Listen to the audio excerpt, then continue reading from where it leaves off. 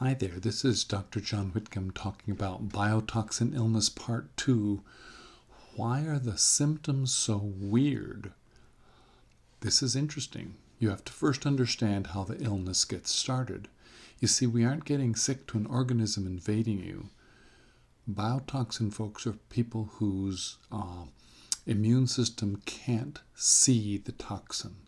That's about 24% of us. Uh, 2% of us are catastrophically blind and are literally crippled. And that can be found by HLA genotyping, as though we were testing you for a transplant.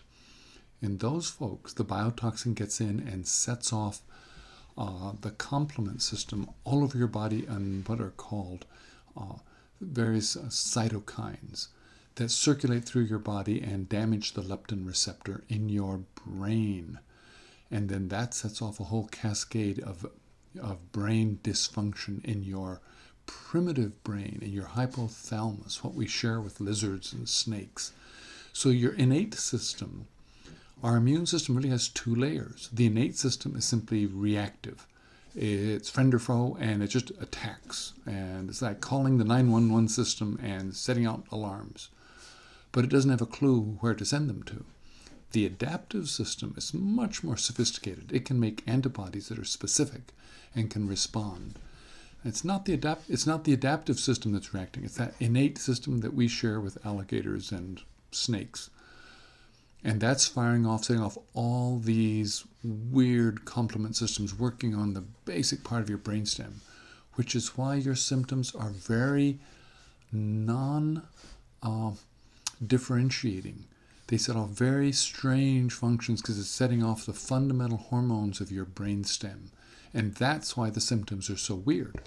So, Dr. Shoemaker on his website, Surviving Mold, has multiple places where you can look up the list of symptoms.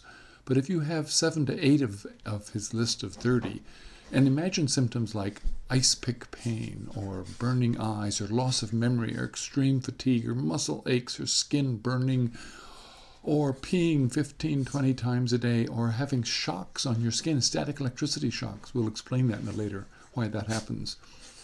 All of these symptoms don't make sense to a traditional doctor and into traditional chaining. And I'm a board certified internist. If you came into me and told me eight of those, I'd look at you and say, You are wacko. But you're not. And that's the genius of biotoxin illness. Once we sort it out, that should be opening up your ears and saying, I know the way to fix this. Dr. Shoemaker says 100% of people can be fixed if we follow his whole program. So, why are the symptoms so weird? Because they come down from the very most primitive parts of your brain. What will work for me?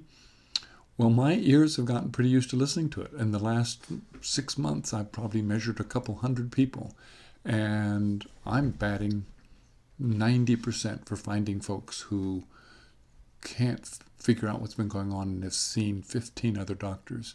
And the fun thing is, together we're working to get them fixed. This is a thrilling prospect. It should be for you too. There's hope. We can fix biotoxin illness. This is Dr. Whitcomb explaining why the symptoms are so weird in biotoxin illness.